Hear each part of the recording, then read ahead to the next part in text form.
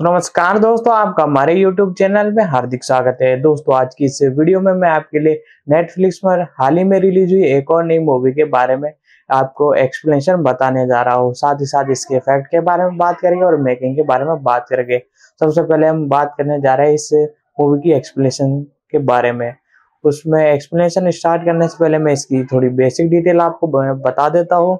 जैसा कि मैं आपको बता दूँ कि इसका डायरेक्शन एक तरह से किया गया था किम ता जुन द्वारा, और इसके साथ इसे 2030 की एक दक्षिण कोरिया थ्रिलर फ़िल्म है। यानी इसमें आपको बहुत ही मज़ा आने वाला है थ्रिलर फ़िल्म यदि आप पसंद करते हैं तो आपकी कैटेगरी की ये वीडियो होने वाली है। इसे ऑफिशियल रूप से 17 फरवरी 2030 को नेटफ्लिक्स के ऑफिशियल प्लेटफॉर्म पर रिलीज़ कर दिया गया है। आप उस पर जाकर इसे देख सकते हो, लेकिन उससे पहले हम आज इस वीडियो में इसको एक्सप्लेन करने वाले हैं। साथ ही साथ इस मूवी के फैक्ट और डिटेल के बारे में जानने वाले हैं। तो मैं आपको बता दूँ, इस मूवी के जो डायरेक्टर है किम ताई जून जी हाँ दोस्तों, इन्होंने इस मूवी का डायरेक्शन संभाला है। साथ ही साथ बता दूँ, इसे लिखा है इन्होंने ही अपने हाथों से। और इसमें सिनेमेटोग्राफी का काम किया है किम योग ने, जो कि बहुत ही बेहतरीन सिनेमाटोग्राफर है। तो आइए चलते हैं मूवी को। एक्सप्लेन करना है। हम चालू करते हैं इस वीडियो में। उससे पहले चैनल पर नया है तो चैनल को सब्सक्राइब कर ले, बेल आइकन दबाकर उसे आल पर सेट कर ले, ताकि हमारी जितनी भी अपकमिंग वीडियो उन सभी का नोटिफिकेशन आप तक पहुँच सके। मूवी की शुरुआत में हमें नामी नाम की एक लड़की दिखाई जाती है। अलार्म बजने पर वह जाग जाती है और इसी के साथ वह अपने ऑफ़िस में काम करते समय, किसी से बात करते समय और यहाँ तक कि वह पार्टी में नामी पूरे दिन अपने मोबाइल का उपयोग करती रहती है। वह सिर्फ़ अपने मोबाइल का ही इस्तेमाल करती है। फिर पार्टी के बाद रात को बस से घर जाती रहती है।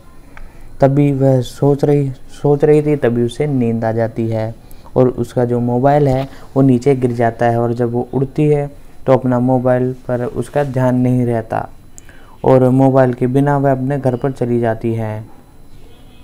और इसी के साथ वह एक लड़के को एक तरह से उसका मोबाइल मिल जाता है। फिर अगले दिन नामी अपने घर में सो रही थी, जहाँ उसकी सहेली आती है और उसे जगाती है और फिर नामी भी सोचती है कि उसका मोबाइल गायब है और इसी बीच वो घबरा जाती है।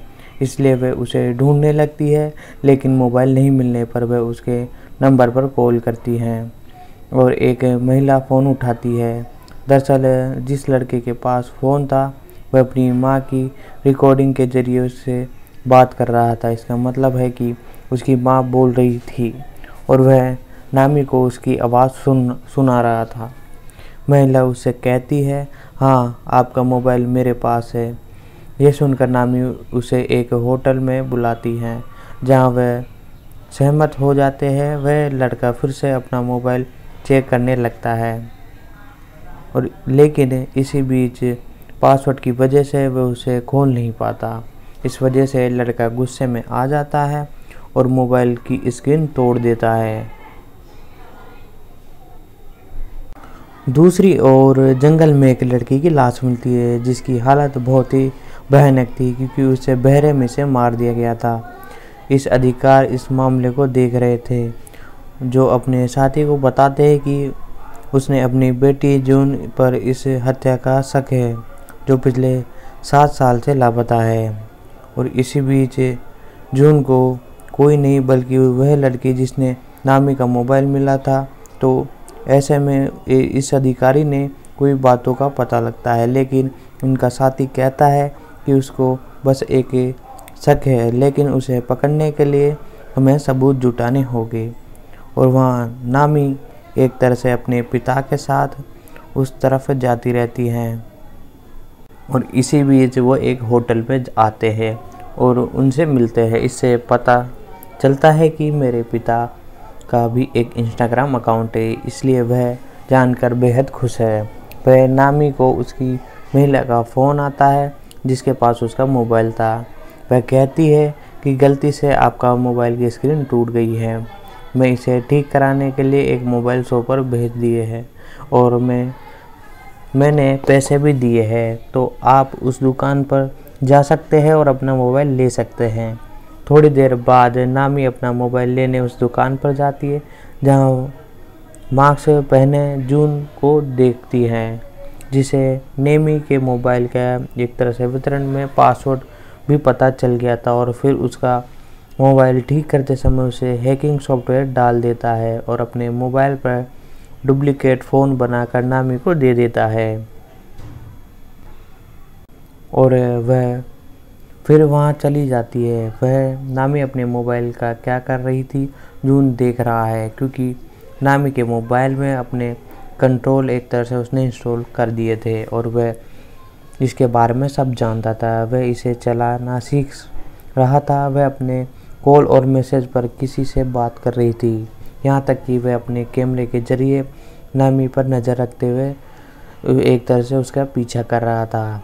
फिर रात में जब नामी अपने पापा के होटल में काम करवा रही थी तो जून वहाँ आता है और उसे बताता है कि वह अक्सर वहाँ आता है। वह उसे पहचान नहीं पाई, क्योंकि उसने दुकान में मास्क लगा रखा था। वह नामी से नामी से, दोस्तों, यह सब खास पे एक तरह से माँगता है, क्योंकि वह उसे मोबाइल पर नज़र रख रहा था और सब कुछ पता चल गया था।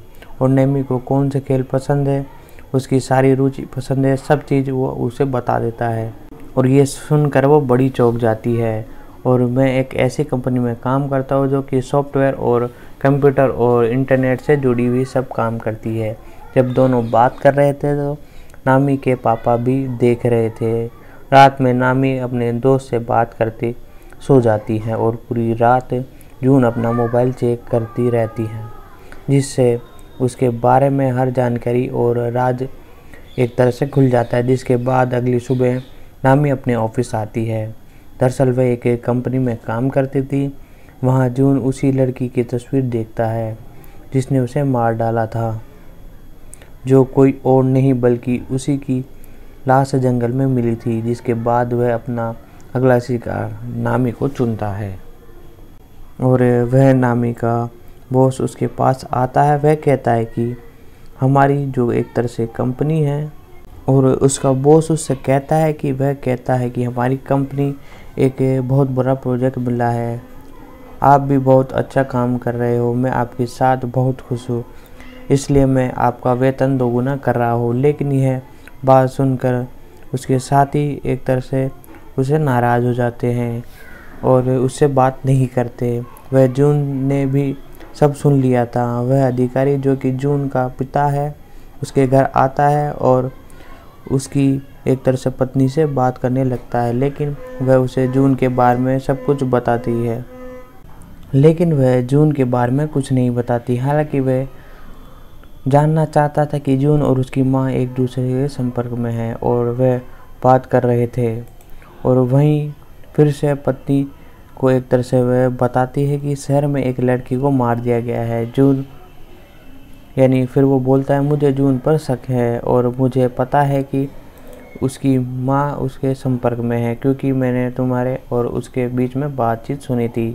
ये सुनकर वह तुरंत कहती है, नहीं मुझे विश्वास नहीं हो रहा। मेरा, एक तरह से मेरा बेटा ऐसा नहीं कर सकता, वह किसी और को क्यों मारेगा? और इसी के साथ उसी समय अधिकारी को अपने मित्र के संदेश को प्राप्त होता है। उनका कहना है कि उन्हें जून की लोकेशन मिल गई है। यानी वह जहाँ जा रहे थे, वहीं नामी अपने प्रोजेक्ट पर काम कर रही थी। वह बहुत खुश थी, जबकि जून उसके घर जाता है और उसकी सारी चीज़ें चेक करने लगता है। जिसमें उसे नामी का दूसरा मोबाइल मिलता है। यानी वह एक नहीं, बल्कि दो मोबाइल का इस्तेमाल करती है। वह अधिकारी का मित्र उसे बताता है कि यह वही जगह है जिसके बारे में मैंने तुम्हें बताया था जून लोकेशन और उसके बारे में पता चलता है। वह उसका पीछा करने लगता है जून को खोजने के लिए अधिकारी अकेला जाता है। वहाँ पहुँचते ही वह घर के अंदर चला जाता है और इसे उधर उधर खोजने लगता है। और उन्होंने यह चित्र एक तरह से बनाया था कि वह एक मृतक लड़की की माँ के बारे में भी पता लगा रहे थे। इसी दौरान जून भी बाहर आ गई है और उसे पहले ही पता चल गया है कि कोई उसके घर में घुस गया है और इसके बाद इसलिए वह चुपचाप वह अंदर जाती है और वहाँ से अपने अपने पिता को देखती है और दिखाई देती है। वह उसके पिता को एक तरह से नशा के नाखूनों को नेल पॉलिश लगाते हुए दिखाया जाता है। इससे पता चलता है कि यह हत्यारा उसके बेटे जून ने की है।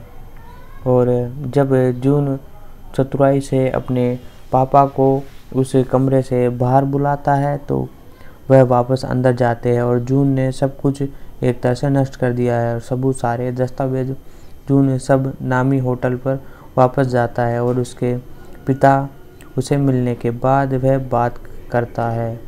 वह यह जहाँ सब कुछ जानता था कि यहाँ तक कि उसके बारे में सब कुछ जानता था। सबसे अच्छी शराब माँगता है और इसके बाद उसे देखना नामी के पिता समझ जाते हैं कि वह झूठ बोल रहा है। यह हमारा नियमित ग्राहक नहीं है। वह नामी से बात करने लगता है और रात में जब पिता और पुत्र घर जा रहे थे तो उसके पिता ने नामी को बताया कि जून एक नकली व्यक्ति है। वह इसे कुछ छिपा रहा है, क्योंकि वह दूसरी बार होटल आया है। इससे पहले वह कभी भी नहीं आया। मुझे नहीं लगता कि वह सही है, इसलिए आप उसे एक तरह से तुम उससे दूर रहो। और इसी बीच जिस पर वह कहती है, पापा, मुझे ऐसा नहीं लगता, लेकिन ठीक है, मैं उसे दूर रहूँगी। जून ने जून ने ये सब बातचीत सुनी है और रात में नामी अपने सहेली के साथ थी, वह उसे जून के बारे में बताती है, लेकिन अगर वह अपना रूम एक तरह से थोड़ा बदल लेती है, यानी उसे बालों को छोड़कर एक तरह से अपना चश्मा उतार देती है, और इसी के साथ वह बहुत प्यारा लगती है, और इसी के साथ उसकी सहेली कहती है कि मैंने उसे देख देख लिया है और मैं भी उसे देखना चाहती हूँ। तब नामी ने उस, उससे वादा किया कि ठीक है, मैं तुम्हें उससे मिलवा दूँगी। अधिकारी तौर पर मृतक लड़की की माँ एक तरह से उसे वहाँ पर मिलती है, जहाँ उसे बताती है कि मेरी बेटी का भी मोबाइल गिर गया था। फिर उसकी स्क्रीन टूट गई थी और मेरे, जो एक तरह से मेरे बेटे को एक मोबाइल की दुकान पर बुलाया गया था, जिसके बाद उसके साथ अजीब व गरीब चीज़ें होने लगी। तभी किसी ने उसकी हत्या कर दी। फिर वह लड़की की माँ से वादा करता है, एक तरह से, तुम चिंता मत करो, हम उसके हत्यारे को ज़रूर ढूंढ निकालेंगे। जब नामी के पिता उसे काम से बाहर, एक तरह से बाहर लेकर आते हैं तो जून उस पर हमला करता है और उसे पकड़ लेते हैं। लेकिन उसी रात पुलिस को जंगल के साथ आठ लाशें मिलती है। इसकी अधिकारी बहुत दुखी हो जाते हैं। और दोस्तों यदि आपको हमारी ये वीडियो पसंद आ रही है तो वीडियो को लाइक कर दे, साथ ही साथ चैनल पर नए हो तो चैनल को सब्सक्राइब कर ले और बेल आइकन दबा कर उसे आल पर सेट कर ले। और फिर सुबह जब नामी अपनी आँखें खोलती है तो वह देखती है कि उसके बॉस ने उसे लगभग आठ बार कॉल किया है। साथ ही साथ उसके मोबाइल पर ढेर सारे मैसेज भी आते हैं, जिसे उन्होंने अपने दोस्त को काफ़ी भला बुरा कहा। इसके अलावा उन्होंने अपने बॉस के बारे में भी काफ़ी खरी चोट सुनाई। और इसके बाद एक पोस्ट ऐसी भी थी जिसमें उन्हें बताया था कि उनके बॉस ने मेरे सैलरी दोगुनी कर दी, फिर वह अपने ऑफ़िस में जाती है जहाँ उसकी टीम यानी बहुत नाराज़ थी। वह सभी से कहती है कि मुझे नहीं पता था कि यह सब किसने किया, लेकिन मेरे पोस्ट यानी मैंने पोस्ट नहीं की। यह एक संदेश भी नहीं भेजा, लेकिन कोई भी उस पर विश्वास नहीं करता और वह उसे जाने के लिए कहते हैं। वह अपने बॉस से भी बात करती है, लेकिन उसके बॉस ने उसे नौकरी से निकाल दिया था। वो भी इसे बहुत समझाने की कोशिश करती है, लेकिन देखी यानी मानती है, लेकिन यकीन नहीं मानते लोग अगर और इसके साथ ना कोई पोस्ट, ना कोई संदेश, मैंने कुछ नहीं किया। मुझे लगता है कि किसी ने मेरा मोबाइल हैंग कर लिया है। कोई मुझे फंसा रहा है और इसी के साथ यानी कोई मेरे मोबाइल को अपने कंट्रोल में ला रहा है और उसे चला रहा है, जो ज़रूरत ज़रूरत उस, उसने ऐसा किया होगा, जिस पर उसके बॉस उसे साबित करने के लिए कहते हैं और वह उसे धक्का देते हैं। इसी बात को सुनकर वो वहाँ से रोती हुई निकल जाती है और बहुत दुखी होती है। फिर वह अपने सहेली के घर जाती है और उसे सारी बात फूट फूट कर रोकर बताती है।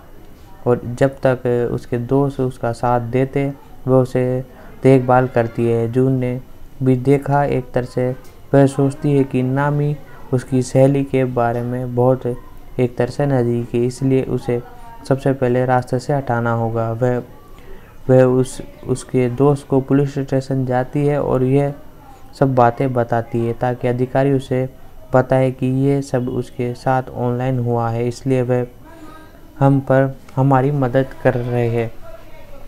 क्योंकि जिसने तुम्हारे साथ ऐसा किया है, उसे पकड़ नहीं पाएँगे। यह सुनकर उसकी सहेली गुस्से में आ जाती है। इसके बाद वह दोनों यहाँ से चले जाते हैं। जून अब यानी अपने पिता के घर जा रही थी, क्योंकि उसे वहाँ पर उनके डैड से मिलना था। वह उसके मोबाइल में यानी जी नामी को मैसेज करता है, ताकि उसे शक ना हो कि कोई मेरे पापा की किडनैपिंग करने आया है। वह दोनों फिर होटल में आते हैं और बात करना शुरू कर देते हैं।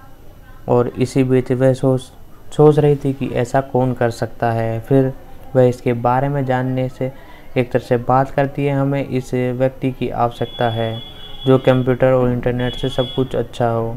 जब जून की एक तरह से इसी बारे में पता चलता है, जिससे कि नामी जून से लेने से मना कर देती है और वह उसकी सहेली के साथ नामी का फ़ोन चेक करने लगते हैं। फिर जब जून उसे कहती हैं कि तुम्हारे मोबाइल को हैंग कर लिया है तो उससे एक तरह से खास ने अपने मोबाइल में ऐसा सॉफ्टवेयर डाल दिया है जिसका कि उसका मोबाइल का सारा कंट्रोल उस हैकर के पास चला गया है। और इसी के साथ जो कुछ तुम करोगे, वह उसे मालूम होगा और वह अपने तरीके से मोबाइल चला सकता है। फिर वह नामी को बाहर आता है और कहता है कि किसी गरीब ने ऐसा किया होगा।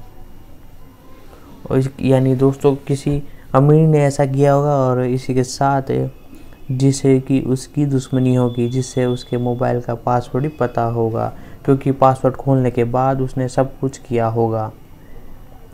और उसे, उस समय नामी का दोस्त चुपके से उसकी तस्वीर बना रहा था, जो उन्हें बेहद अजीब लगती है। और जब वह होटल आती है तो उसकी सहेली उसे खबर देती है एक तरह से कि जिसमें पुलिस को सात आठ लाख से एक तरह से मिली थी उसके बारे में। जब उसकी सहेली ने नोटिस किया कि नामी मुझे से बात नहीं कर रही, वह उसी कारण पूछती है कि तुमने मेरे से बात क्यों नहीं की? इतने दिन हो गए अब इसी के बाद बताया जाता है, आपका मूड भी ख़राब हो रहा है। क्या हुआ? आप नाराज़ हो? ये सुनकर नामी गुस्से में आ जाती है। वह कहती है कि मुझे तुम पर शक है कि तुमने मेरे साथ ऐसा किया होगा, क्योंकि मेरा पासवर्ड सिर्फ़ तुम ही जानते हो। यह सुनकर उसकी सहेली बहुत नाराज़ होती है और उसे बुरा, बहुत बुरा लगता है। वह कहती है कि कभी जो लड़का जून आया था, उसके कारण मुझ पर शक कर रही हो? ठीक है, अगर तुमने ऐसा सोचा है तो मैं तुमसे दूर जाऊँगी। इसी, इतना कहने के बाद नामी अपने दोस्त को दोस्ती तोड़ने के लिए कहती है। वह बहुत दुखी है और रो रही थी और जून भी इस बात को देखती है, जहाँ वह पुलिस एक तरह से लाशों को पकड़ रही थी, यानी लाशों के हथियारे को पकड़ रही थी, उनके सामने भी एक तरह से जाँच करने के लिए थोड़ी दिक्कत आने लगती है। यह देखकर अधिकारी बहुत परेशान हुए। तभी उसके दोस्त कहते हैं कि तुम्हारे बेटा ऐसा नहीं कर सकता और हमें पता है, इसलिए हमें उसे पकड़ने में जल्दी ही रोकना होगा, क्योंकि वह बहुत आगे निकल चुका है। किसी अधिकारी कहते हैं कि सबसे पहले उस मोबाइल के दुकान का पता लगाना होगा, जहाँ जून काम कर रहा है, जिस पर उसकी सहेली हाँ कहती है। और वह दोनों वहाँ से चले जाते नामी होटल की, में बैठकर उसकी सहेली से वीडियो, एक तरह से वीडियो देख रही थी। वह बहुत दुखी थी और अपने फ़ोन को फेंक देती है। इससे उसकी स्क्रीन टूट जाती है। वह अधिकारी और उसके दोस्त जून की मोबाइल की दुकान ढूंढ रहे थे, लेकिन उसने यहाँ सब कुछ तबाह कर दिया। लेकिन कुछ पेपर्स के ज़रिए उन्हें आर्ट कस्टम के बारे में पता चलता है। जो कोई और नहीं, बल्कि वो लोग थे जिनकी लाशें मिली है। और ये देखकर वो बड़ा ही चौक जाते हैं। अधिकारी का कहना है कि मुझे नौ लड़कियों की डिफेंस भी पता है, जिन्हें मारा गया है। मुझे वह से जून के घर से मिली तो वह हमें बचा रही है या हमारा ही एक तरह से गेम बजा रही है? ये सुनकर उसके दोस्त कहते हैं कि हमें द न्यूज़ पर भी प्रसारित करना चाहिए ताकि जून को जल्द से जल्द पकड़ा जा सके।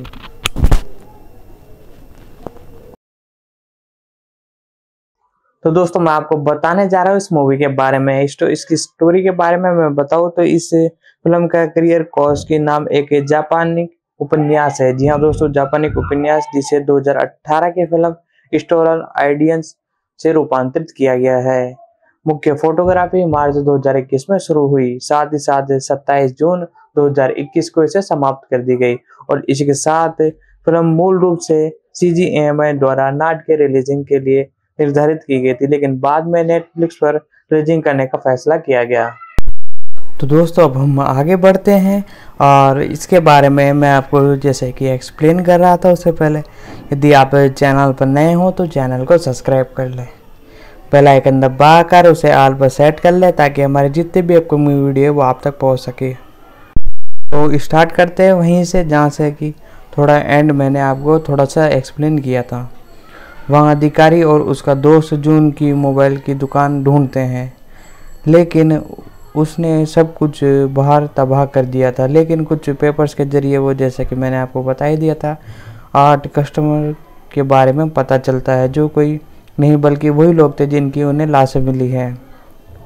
अधिकारी का कहना है कि वह नौवीं लड़की की भी डिटेल का भी पता चल चुका है, जो कि मरने वाली है, और मुझे कुछ, इसी के साथ मुझे कुछ वह वितरण जून से घर से मिले हैं तो अब हमें उसे बचाना चाहिए। ये सुनकर वो चौक जाते हैं और तुरंत भागने की कोशिश करते हैं। ये सुनकर उसका दोस्त कहता है कि हमें इसे द न्यूज़ पर भी प्रसारित करना चाहिए ताकि जून को जल्द से जल्द पता चल सके और वो बच सके।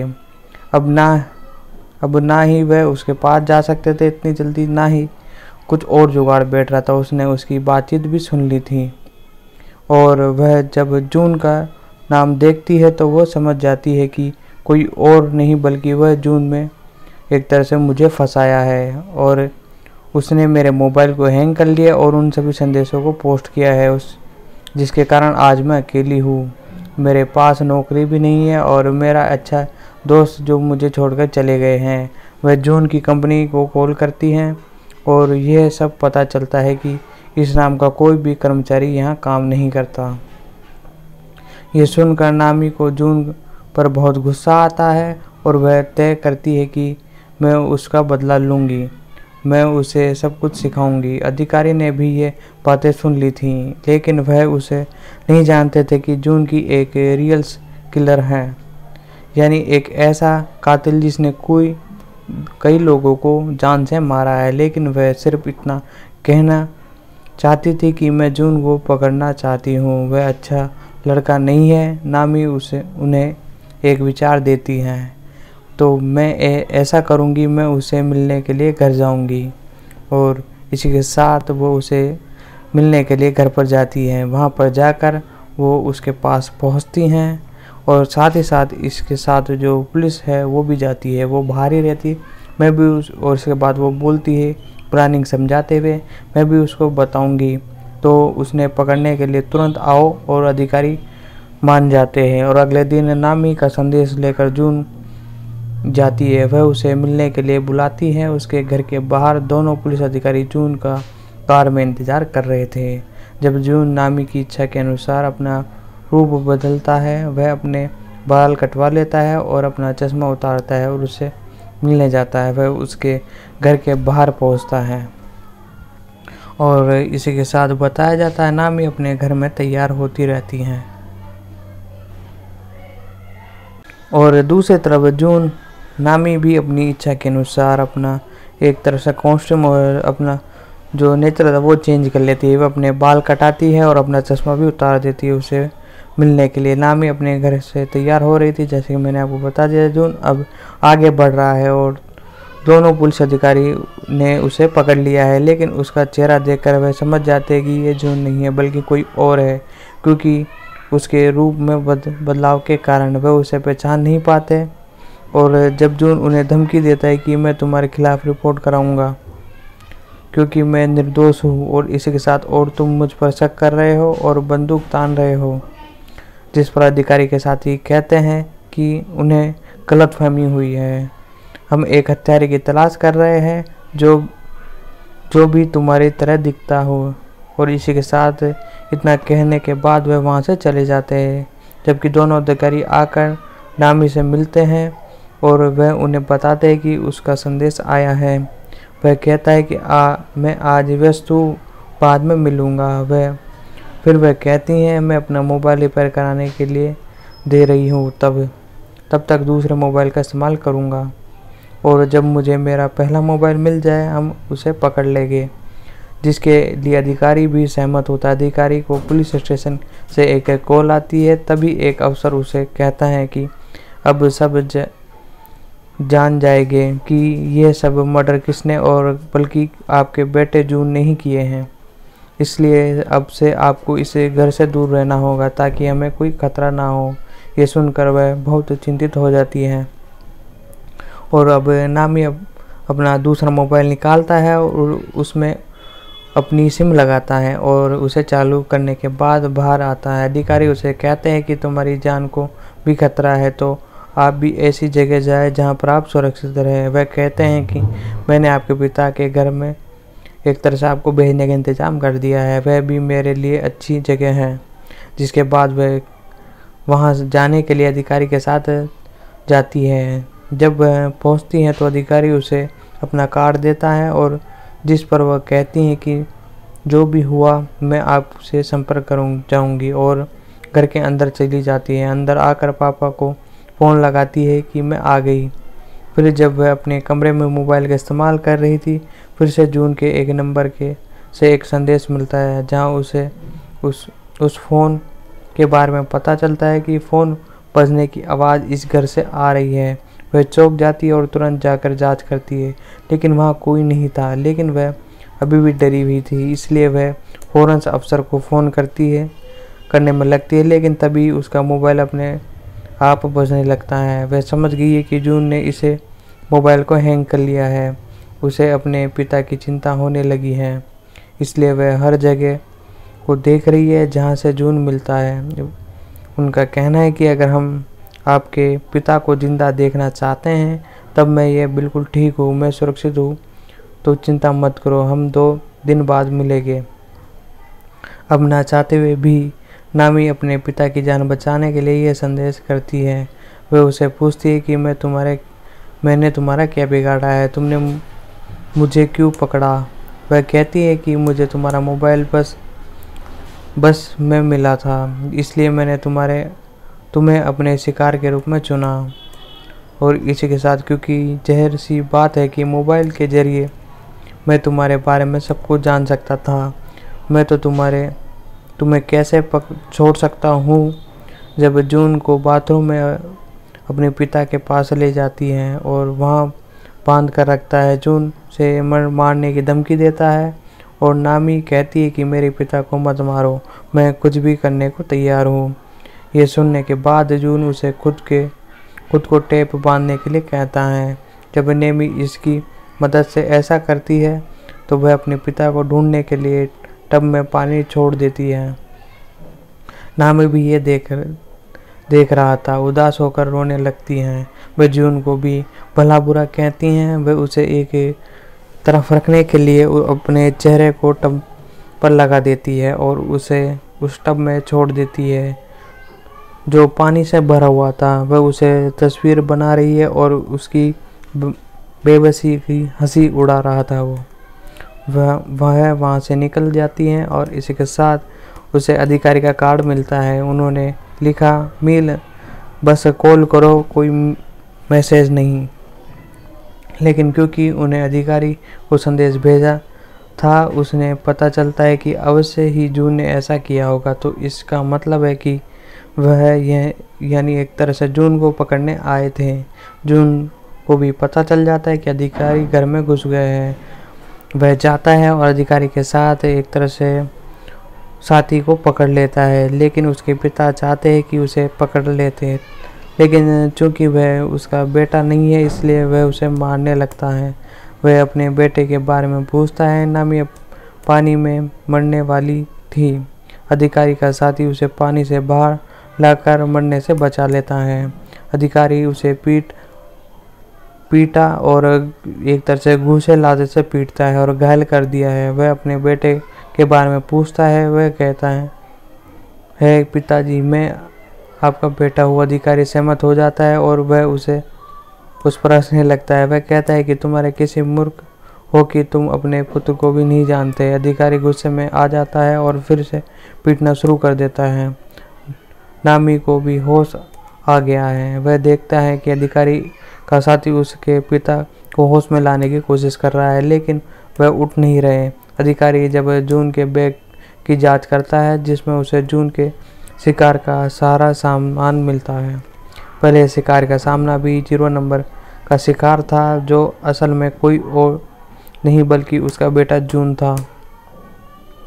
इस हत्यारे के पास अधिकारी के बेटे के एक तरह से पत्ते के सारी जानकारी थी, जो सात साल पहले लापता हो गया था। दरअसल वह गायब नहीं हुआ था। सात साल पहले इस हत्यारे ने उसकी हत्या कर दी थी। तो तब से वह जून के रूप में अपनी पहचान कराम रखने लगा था। ये जानकर अधिकारी बहुत दुखी हुआ, इसलिए वह हत्यारे को बंदूक से मार डालता है और हत्यारे उसे बताते हैं कि मैं अभी भी तुम्हारी पत्नी से जून बनकर बात करता हूँ। तुम कितने महसूस मासूम हो। आप ये जान, आपको ये पता नहीं लगा सकता कि जिससे आप बात करते हो, वो आपका पुत्र नहीं है, बल्कि और कोई है। वह आपके पुत्र जून का हथियारा है। नामी भी उसे सब पर सुनाती है और वह गुस्से से बाहर जाती है। वह अधिकारी से बंदूक छीन कर हत्यारे को मार देती है। वह देखती है कि मेरे पिता को होश आ गया है, यानी वह ज़िंदा है। ये बात को लेकर इमोशनल होकर वह अपने पिता को गले लगा लेती है और रो पड़ती है। फिर उसे इलाज के लिए तुरंत एंबुलेंस से अस्पताल भेजा जाता है, जहाँ से पुलिस से सभी मृतक का सामान भी एकत्रित करती है। कुछ दिनों बाद सभी हथियारों के बारे में पता चलता है। वह इंटरनेट के ज़रिए लोगों की जान लेते हैं और अब उसे मार दिया गया है। अधिकारी जानकारी नहीं मिल पाती और जब नामी अपने पिता के दोस्त के साथ होटल में थी तो कोई चुप, चुपचाप उसे पर नज़र रख रहा था, जिसमें वह खुद भी देखती हैं। लेकिन वह समझ नहीं पाती कि वह कौन है। ये एक हत्यारा हो सकता है और इसके साथ ये अधिकारी का बेटा हो सकता है, या फिर कोई तीसरा शख्स भी हो सकता है। लोग ऑनलाइन पढ़कर अपनी मर्ज़ी के बिल्कुल हत्यारे की तरह लोगों मारने लगे, लगते हैं। इसे स्पेस वाले सीन के साथ भी फ़िल्म की कहानी यहीं ख़त्म होती है।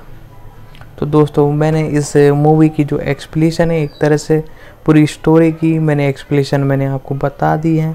साथ ही साथ इस मूवी की मेकिंग डिटेल के बारे में भी हमने जाना। तो अब हम आगे बढ़ने से पहले दोस्तों, यदि आप हमारे इस चैनल पर नए हो तो चैनल को सब्सक्राइब कर ले बेल आइकन दबा कर इसे आल पर सेट कर ले, ताकि हमारे जितने भी अपकमिंग वीडियो हैं उन सभी का नोटिफिकेशन आप सभी तक पहुँच सके। साथ ही साथ बेल आइकन दबा कर उसे आल पर सेट कर ले। और यदि आपको और भी किसी सीरीज़ की एक्सप्लेनेशन चाहिए हो तो नीचे कमेंट बॉक्स में उसी सीरीज़ का नाम लिख दीजिए। हम जल्द से जल्द लाने की कोशिश करेंगे। तो अब हम बात करते हैं इस जो सीरीज़ है, इसके अंदर मेन लीड के अंदर आपको देखने को जो नज़र आई है, उनके बारे में। जी हाँ दोस्तों, जो किरदार निभाते हुए आपको नज़र आई थी। चून वी ही के बारे में हम आपको थोड़ी डिटेल बताने जा रहे हैं। मैं आपको बता दूँ इनके बारे में, ये एक कोरियन, इन, इन्हें कोरियाई नाम से भी जाना जाता है। ये परिवार का चुन है, यानी एक तरह से चुन वी ही। इनका जन्म 30 अप्रैल उन्नीस सौ छियासी में हुआ था। एक दक्षिण कोरिया अभिनेत्री हैं।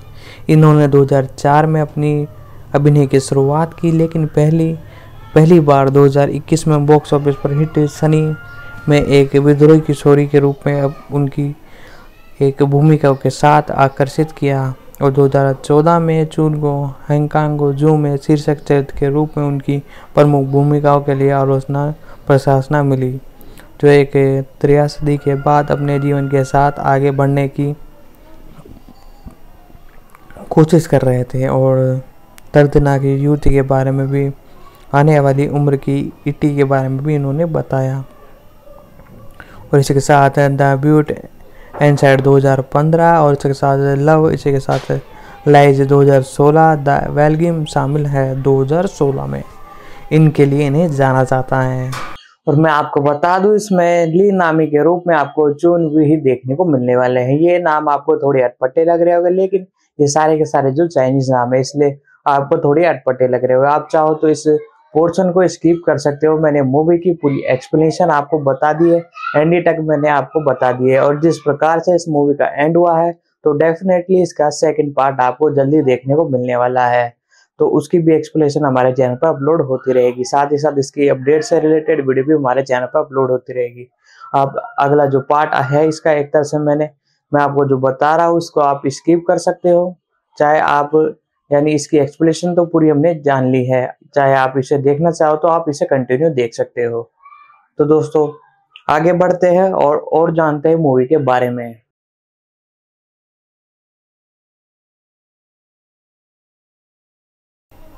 और इसी के साथ मैं आपको और इनकी थोड़ी डिटेल बताता हूँ। जैसा कि मैंने आपको बताया, इनका जन्म 30 अप्रैल उन्नीस सौ में हुआ था। आज इनकी उम्र लगभग 35 साल है। दक्षिण कोरिया में हुआ और इन्होंने अपनी जो एजुकेशन ली, क्रियोग यूनिवर्सिटी से ली और ये मुख्य रूप से एक एक्ट्रेस के रूप में जानी जाती है। सक्रिय अवस्था इनका 2004 से लेके वर्तमान तक आज तक ये बुलंदी हासिल किए जा रहे हैं। और इसी के साथ मैं आपको बता दूँ 2011 11 फरवरी 2023 को चून ने होम ब्रिज राष्ट्रीय आपात सहायक संघ के मध्य में एक धन दान करके 2023 से तुर्की भूकंप में मदद करने के लिए तो 20 मिलियन का दान किया था। और इसी के साथ मैं आपको बता दूँ, फिल्मोग्राफी के बारे में बात की जाए तो 2004 में इनकी जो मूवी आई, लव, जो कि एक स्टोरी थी, जो कि बहुत ही ज़बरदस्त लोगों को पसंद आई और इसी के साथ लोगों द्वारा इसे बड़ा पसंद किया गया और इसी के साथ 2007 में इनकी एक और नई मूवी आई जिसका नाम था जड़ी बूटी, जो कि बहुत ही हिट रही। उसके बाद इन्हें जाने जाने लगा और इसके साथ 2009 में इनकी जो एक तरह से मूवी आई, वो थी मॉम जो कि बड़ी ही सुपर हिट रही। और इसके साथ 2010 में इपनेम का लड़का, जो भी ठीक ठाक ही है। और इसके साथ धूप वाला, जो कि बहुत ही ज़बरदस्त मूवी रही और मेरी जो लव माय लवर के नाम से जो एक मूवी आई, वो अभी तक, यानी एक तरह से उसमें जितना लोगों को अंदाज़ा था उससे ज़्यादा वो कलेक्शन नहीं कर पाई। इसके कारण वो फ्लॉप रही। और इसके साथ इन्होंने और भी कई सारी मूवीज़ की। इसके साथ अनलॉक जो कि अभी नेटफ्लिक्स पर अवेलेबल है। ये एक तरह से मूवी बहुत ही ज़बरदस्त है। और इसके साथ इसका सेक्शन टू जी हाँ दोस्तों सेक्शन टू कंफर्म हो चुका है और आपको ये भी देखने को मिलने वाला है जल्दी। जैसे इसका कोई टीजर या ट्रेलर रिलीज़ होता है, मैं आपको कमेंट बॉक्स में, यानी एक तरह से कमेंट कर कर हमारे इस चैनल पर आपको बता दूँगा ताकि हमारे जितने भी अपकमिंग वीडियो हैं, वो उन सब का नोटिफिकेशन भी हम बताते रहते हैं। तो सर इसके लिए ज़रूरी है कि आप हमारे चैनल को सब्सक्राइब कर लें।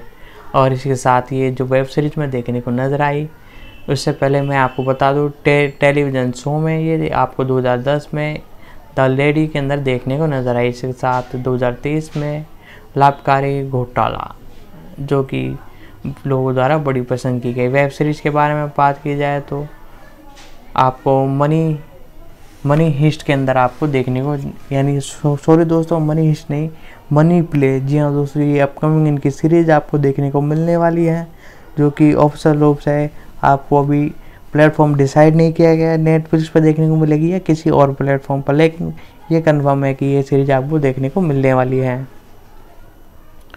और इसी के साथ टेलीविज़न शो 2002 में इनका जो आया, गायब हो गया, एक तरह से ये भी बहुत लोगों द्वारा पसंद की गई। इनके जो अवार्ड से 2011 में अट्ठानवा गोल्डन ब्लेड पुरस्कार, जो कि इन्हें मिला गया इसके लिए इन्हें नामांकित किया गया इसी साथ है बत्तीसवा ब्लू ड्रैगन फ़िल्म पुरस्कार इन्हें दिया गया और दो, इसके साथ 2014 में इन्होंने चौदवा डायरेक्टर कट अवार्ड्स और तेईसवा world film award, चौंतीसवा Korean association of film grade awards अपने नाम किया और इसके साथ इक्यानवा ग्रेड बेल पुरस्कार और सिने इक्कीस पुरस्कार और चौंतीसवा गोल्डन सिनेमा फैट क्रिट अवार्ड्स और इसके साथ 2015 में दसवा मैक्स पी अवार्ड और बीसवा चूल फ़िल्म अवार्ड्स आपको देखने को मिला। और साथ ही साथ 2019 में अट्ठाईसवा वर्ल्ड फ़िल्म पुरस्कार और 2021 में इकतालीसवा गोल्डन सिनेम सिनेमेटोग्राफी अवार्ड्स इन्हें दिया गया। और इसके साथ 2022 में इनका सत्ताईसवा चुर्स फ़िल्म फेयर पुरस्कार इन्होंने अपने नाम किया और इसके साथ तियालीसवा ब्लैड ड्रैक्स फ़िल्म पुरस्कार अपने नाम करते हुए ये 2022 में भी कामयाब रही। और इनके बारे में और ज़्यादा डिटेल तो अवेलेबल नहीं है। मैंने जितनी भी डिटेल थी मैंने आपको बता दी।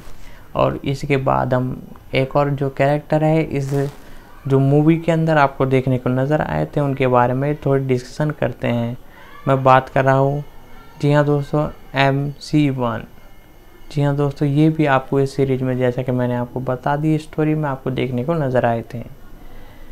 इनके बारे में बात की जाए तो इनका जन्म एक दिसंबर उन्नीस सौ अट्ठासी को हुआ था, जिन्हें सीवर के नाम से जाना जाता है। ये दक्षिण कोरिया गायक और एक तरह से एक्टर भी है। वह दक्षिण Korea word G E slash A और उसके साथ जी ई ए फाइव के सदस्य एक अभिनेता के रूप में इन्हें फ़िल्मों में द ऑर्टन 2013 और इसके साथ मिर्सोंग अपूर्ण जीवन 2014 में अभिनय करने के लिए जाना जाता है, जो कि बॉक्स ऑफ़िस पर और इसके साथ रेटिंग दोनों में ही सफल रही और लोग द्वारा इसे बड़ा पसंद किया गया। तो दोस्तों, यदि आपको हमारी ये वीडियो पसंद आई है तो वीडियो को एक लाइक ज़रूर कर दे। साथ ही साथ यदि चैनल पर नए हो तो चैनल को सब्सक्राइब कर ले बेल आइकन दबाकर उसे आल पर सेट कर ले, ताकि हमारी जितनी भी अपकमिंग वीडियो है, उन सभी का नोटिफिकेशन आप तक पहुँच सके। साथ ही साथ आपको और भी किसी वेब सीरीज़, चाहे वो नेटफ्लिक्स की हो, चाहे डिजनी हॉट स्टार की हो, चाहे अमेजोन प्राइम चाहे एप्पल टीवी किसी भी प्लेटफॉर्म पर वो रिलीज़ हुई हो, चाहे नाइनटीन की हो जाए दो हज़ार तेईस की हो अपने जो मूवीज़ है, उनकी अपडेट भी हम बताते रहते हैं। तो इन सभी को जानने के लिए ज़रूरी है कि आप चैनल को सब्सक्राइब कर ले और आपको जिस भी सीरीज़ का एक तरह से एक्सप्लेनेशन जाननी हो, चाहे अपडेट जाननी हो, नीचे कमेंट बॉक्स में उस सीरीज़ का नाम लिख दे और चैप्टर यदि आप चाहे तो चैप्टर वन टू यानी उसका चैप्टर हो तो चैप्टर लिख सकते हो। हम आपके लिए उस टॉपिक पर जल्द से जल्द वीडियो लाने की कोशिश करेंगे। तो दोस्तों, आगे बढ़ते हैं और सीरीज़ में हम, यानी इस सीक्वेंस के, यानी इस मूवी के अंदर हम जो जो हमने आपको डिस्कशन किया, वो बड़ा ही इम्पोर्टेंट था और साथ ही साथ ये जानना भी आपके लिए ज़रूरी था। और अब आगे बढ़ते हैं और थोड़े कैरेक्टर और बच गए उनके बारे में हम आपको डिटेल बताते हैं। तो दोस्तों, मैंने अब एक एक करके सबकी डिटेल मैंने आपको बता दी है। साथ ही साथ हमने जाना इन सभी के बारे में। तो अब हम बात कर रहे हैं किम ही जीता के बारे में। जी हाँ दोस्तों, ये एक हॉकी खिलाड़ी है। साथ ही साथ इन्हें कोरियन के अंदर जाना जाता है एक दक्षिण कोरियन अभिनेता के रूप में। 2007 के बाद इन्होंने द मैन ऑफ़ नॉर्वे 2010 और मिस्टर ग्रो 2013 में और इसके साथ मिक सांगो एक प्ली फ्लाइव 2014 से तो उल्लेखन शीर्षकों के सात फ़िल्मों के लिए टेलीविज़न श्रृंखलाओं में सहायक भूमिका निभाई है। और साथ ही साथ इनकी जो मैं डिटेल बताऊँ, जैसा कि मैंने आपको बताया, इनका जन्म 10 जनवरी उन्नीस सौ इक्यानवे में हुआ। आज इनकी उम्र लगभग बावन साल है। दक्षिण कोरिया में इनका जन्म हुआ। इनकी स्कूली जो शिक्षा है, Seoul institute of arts theatre में ली। और साथ ही साथ ये एक मुख्य रूप से एक अभिनेता के रूप में जाने जाते हैं। सक्रिय बस इनका था 2007 से वर्तमान तक। और इसके साथ हान जी और है। और इसके साथ और मनोरंजन भी आपको देखने को एक तरह से रूप में काम करते हैं। मैं आपको बता दूँ कि इनकी जो सबसे पहली जो फ़िल्म आपको देखने को मिली थी, वो थी पहली एक तरह से फ़र्स्ट रोड। जी हाँ दोस्तों, इसे हिंदी में मैं आपको बताऊँ तो पहली सड़क इसके अंदर मुख्य किम अपने एक किरदार निभाते हुए नज़र आए थे और इसके साथ भूमिगत स्थिर स्थान स्क्राउट इनकी 2007 में लगभग तीन मूवी से इन्होंने इस इंडस्ट्री में कदम रखा। 2009 में दौड़ता हुआ कछुआ, जिसके द्वारा इन्हें जाने जाने लगा और वर्चुअल सेल्यूस इसके बाद अगली फ़िल्म आई, जो कि बहुत खास नहीं थी। और इसके बाद लैड्री जो कि बहुत ही ज़्यादा वायरल हुई और लोगों द्वारा इसे पसंद किया गया। उसके बाद 2010 में इन्हें कहीं न, कहीं नहीं आदमी के साथ इन्होंने अपना कम किया। और 2011 में मैं तेरे से और इसके साथ इन्होंने 2000 एक तरह से 15 में दोबारा कम करते हुए द यूट एनाइट जिसके अंदर व्यू जी का रोल निभाया समूहकारी का आविष्कार के साथ वकील क्रिम के रूप में अपना किरदार निभाते हुए नज़र आए। और इसी के साथ कई सारी बड़ी बड़ी फ़िल्मों में अपना किरदार निभाने के बाद 2020 में लव के अंदर अपना किरदार निभाते हुए नज़र आए।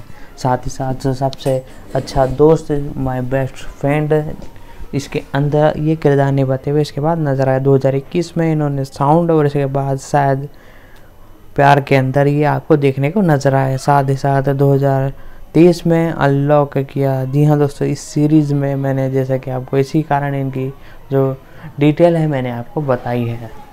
और साथ ही साथ ये हाई फाइव में आपको जल्द ही देखने को मिलने वाले हैं।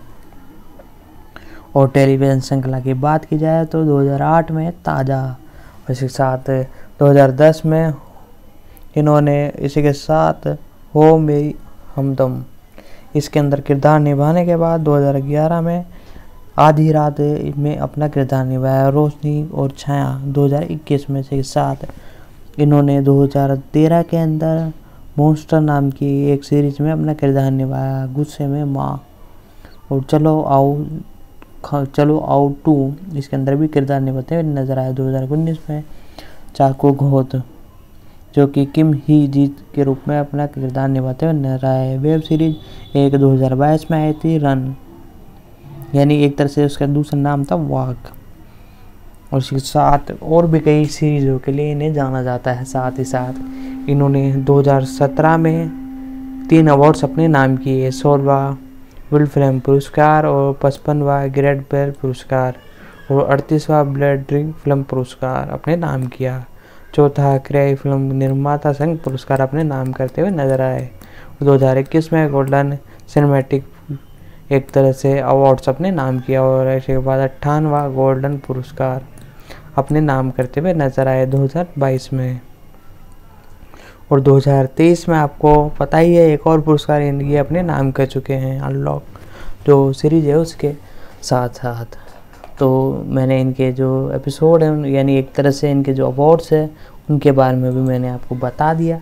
साथ ही साथ अब हम बात करने वाले हैं इसमें जो आपको म्यूज़िक देते हुए नज़र आया है तलान पालन। जी हाँ दोस्तों तलान पालन जो कि बड़ी ही फ़ेमस म्यूज़िक एक तरह से डायरेक्टर है।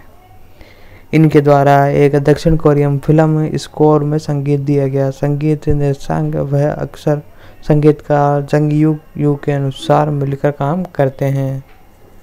फिल्मोग्राफी की बात की जाए तो इन्होंने बैड मूवी उन्नीस सौ में और द कट रेफ ड्रिफ जो कि उन्नीस सौ अट्ठासी में है। झूठ उन्नीस सौ निन्यानवे में साथ ही साथ 2006 से पाँच लगभग लेके इन्होंने पचास से भी ज़्यादा फ़िल्मों में अपने म्यूज़िक देते हुए नज़र आए हैं। और कलेक्टर 2020 में और सज्जे 2022 में अपना जो एक तरह से देते हुए नज़र आए म्यूज़िक। और इन्होंने भी कई अवार्ड अपने नाम किए। सबसे पहला अवार्ड इनका था उन्नीस सौ निन्यानवे में एम टेड वीडियो पुरस्कार, जो कि बहुत ही ज़्यादा लोगों में से किसी एक को मिलता है। साथ ही पच्चीसवा कोरियन एसोलिस ऑफ़ फ़िल्म क्रिस्ट अवार्ड ये देते हुए नज़र आए थे उसके साथ 2005 में बावन का ग्रेट बेल पुरस्कार। उसके साथ चौथा कोरियन फ़िल्म पुरस्कार अपने नाम करते हुए सिजमेट फ़िल्म क्राफ्ट में अपना किरदार निभाते हुए नज़र आए। 2008 में गुंदीसा ब्लैक ड्रैगन फ़िल्म पुरस्कार अपने नाम किया और सत्रहवा ब्लेड फ़िल्म पुरस्कार अपने नाम करते हुए नज़र आए। साथ ही साथ मैं आपको बता दूँ 2011 में बत्तीसवा ब्लैड ट्रैक फ़िल्म पुरस्कार अपना नाम किया।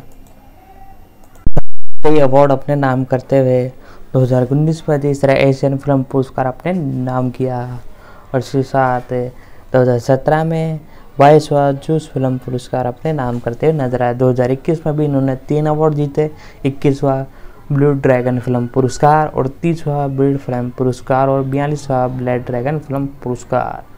जी हाँ दोस्तों, इतने सारे अवार्ड इन्होंने अपने नाम किए हैं। साथ ही साथ और भी लिस्ट है, मैं नीचे कमेंट बॉक्स में मैं आपको बता दूँगा। डिस्क्रिप्शन में भी मैं आपको बता दूँगा। यदि आप कमेंट करते हो तो कमेंट बॉक्स में मैं डिस्क्रिप्शन में डाल दूँगा। तो इसके अंदर हमने कई सारी जो एक तरह से इनकी अवार्ड्स के बारे में भी हमने डिस्कशन कर ली मूवीज़ के बारे में भी हमने इसकी डिस्कशन कर ली। साथ ही साथ हम बात करते हैं अब इसकी जो नेटवर्किंग उसके बारे में भी मैंने आपको बता ही दी। साथ ही साथ एक और नए कैरेक्टर जिनका नाम है, एक तरह से फीमेल एक्ट्रेस है, जिनका नाम है किम ये वॉन इनका जन्म उन्नीस सौ सतासी में हुआ। इनका जन्म दक्षिण कोरिया में हुआ, जो कि अपने अभिनय के लिए जानी जाती है। आभूषण से अधिक दक्षिण कोरिया में मूर्ति के गायक के लिए और किम ये वॉन एक तरह से उन्नीस सौ सतासी में जन्मी दक्षिण कोरियन अभिनेताओं के रूप में जानी जाती हैं। इन्हें कोरियन नाम में एक तरह से किम के नाम से जाता, जाना जाता है। इनके परिवार वाले लोग इन्हें इसी से पुकारते हैं। किम ये वोन, इनका जन्म 11 दिसंबर उन्नीस सौ छियासी में हुआ। एक दक्षिण कोरियन अभिनेत्री है।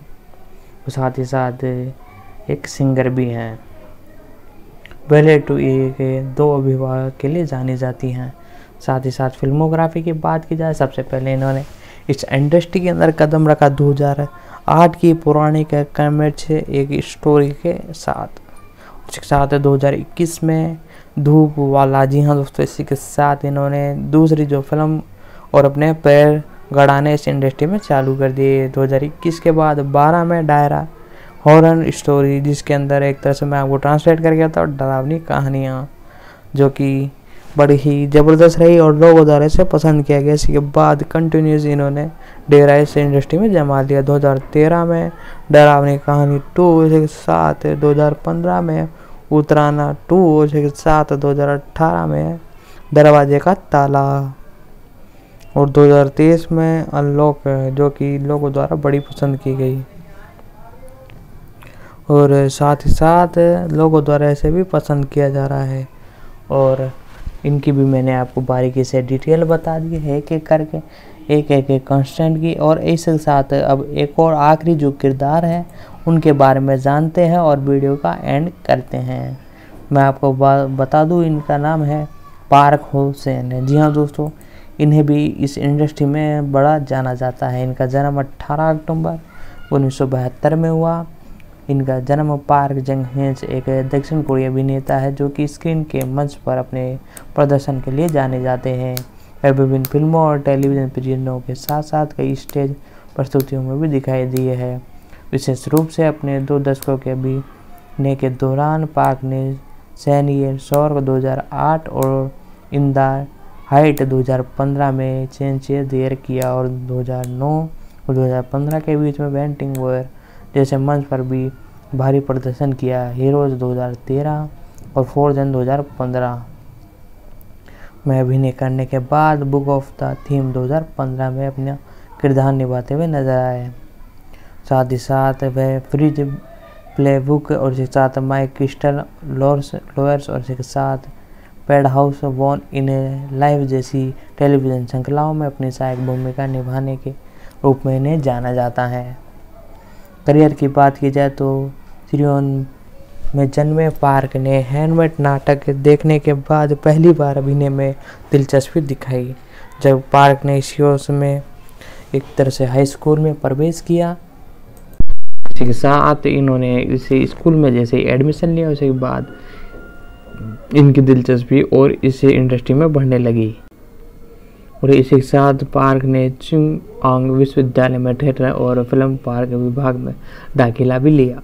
और उन्नीस सौ तिरानवे में यूनेक थिएटर कंपनी के सदस्य बने और उन्नीस सौ छियासी में विंटर वाटर नाटक से अपनी शुरुआत की और उन्नीस सौ बहत्तर में पार्क ने फ़िल्म ब्लैक जैक में एक छोटी भूमिकाओं के साथ बड़े पर्दे पर अभिनय करना शुरू किया। और उन्नीस सौ अट्ठासी में इन्होंने चार फ़िल्मों में छोटी छोटी भूमिकाएँ निभाकर अभिनय करना जारी रखा। स्ट्रोक ऑफ़ द मैन और दोपहर दो बजे। 2001 में इन्होंने पार्क फीचर फ़िल्म वानी एंड जून में दिखाई दी। 2013 में पार्क ने किम मिंग जंग संगीतम एरियर सेट में बेहसन के साथ अभिनय किया। पार्क होमसन ने एक एरियर सेट फ्रांस से संगीत और प्योदिक रूप में अपना अभिनय किया। पार्क हाई। इस द्वारा नरसिंह नवंबर 2000 नवंबर 2013 में एक एशियोसिक थिएटर एक तरह से आयोजना में अपना साकिला लिया। उसके साथ 2014 में पार्क ने feature film the king of jokes में अभिनय किया।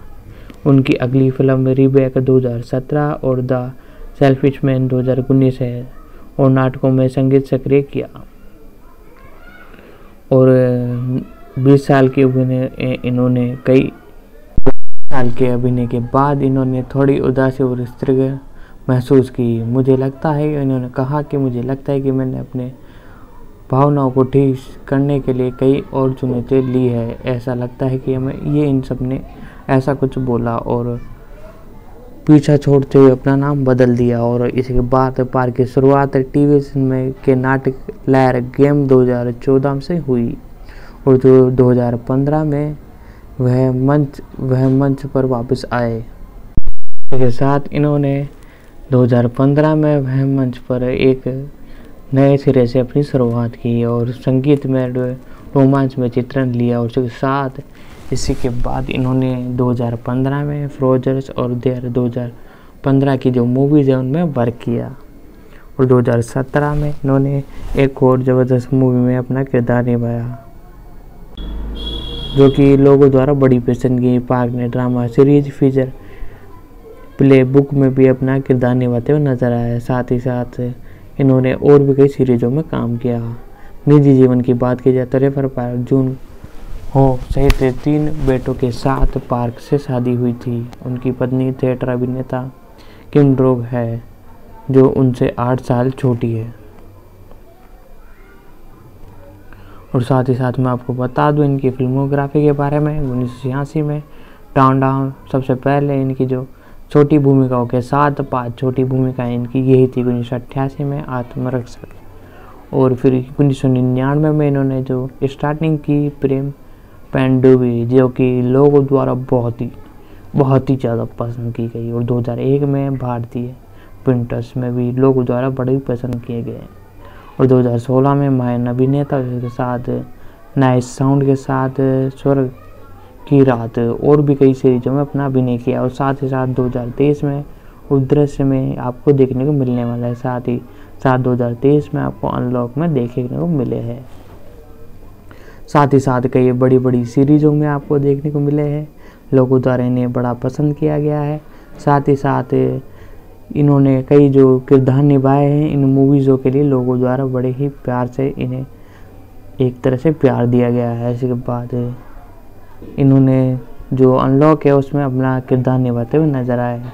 तो दोस्तों, इनकी भी मैंने आपको पूरी की पूरी कुंडली खोल के एक तरह से पूरी डिटेल मैंने आपको बता दी है।